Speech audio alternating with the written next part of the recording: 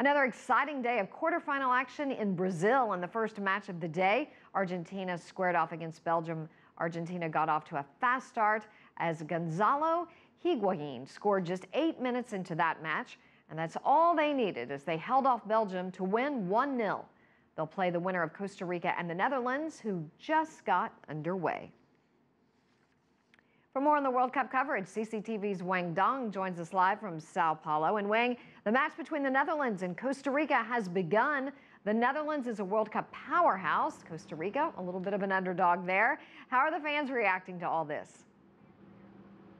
Absolutely wonderful. Remember, this is actually the last game being held in Salvador, and afterwards, other games will move on to some other cities, including Sao Paulo here. The last one will be held in Rio, of course, and the uh, ambience there is fantastic. And uh, for Costa Rica, even though they might be viewed as an underdog, this is sort of like the half court, home court, uh, given the geographical reason. A lot of fans are there in that city. The number of Latino fans are totally, uh, have totally outnumbered the uh, Dutch supporters and fans, if you will. This is absolutely fabulous for the football situation in Salvador. Of course, Costa Rica mentioned that already, that they are not here just to be an onlooker. They certainly would like to continue their Cinderella story or run there to actually create some big upset to uh, topple uh, the Netherlands. So uh, let's just see how this game unfolds itself, Susan.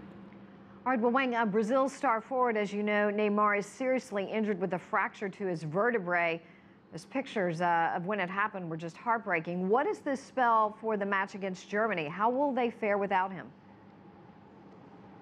Well, that's tremendous, really. Uh, negative impact right there. Remember, uh, Neymar is just as important to Brazil as uh, Messi, Lionel Messi, to Argentina. The man is the top scorer of the team. He already scored four goals, not only as a spiritual leader, but also the backbone as a spear, uh, spearhead, really, for the team. Now, without him, and also in the next or the upcoming semifinal up against powerhouse Germany, the team is also going to miss their captain, uh, Thiago Silva, who, also, who got two uh, accumulated yellow cards, and as such, he's going to be suspended so one in front, one in back, this kind of negative impact will be there. Both teammates, or both team players rather, will be badly missed by Brazil. But on the other hand, the Brazilian teammates already mentioned that they will translate this kind of pressure under motivation, even though they are under tremendous pressure to win the trophy here in their so home soil. And also, they're also going to face Germany right there. They want to make it happen. They want to go to, all the way to the final to lift the trophy. And they vow that they will actually keep the trophy in this country for Neymar and for Brazil. Susan. All righty. Wang Dong reporting live from Sao Paulo. Thank you so much for all of that.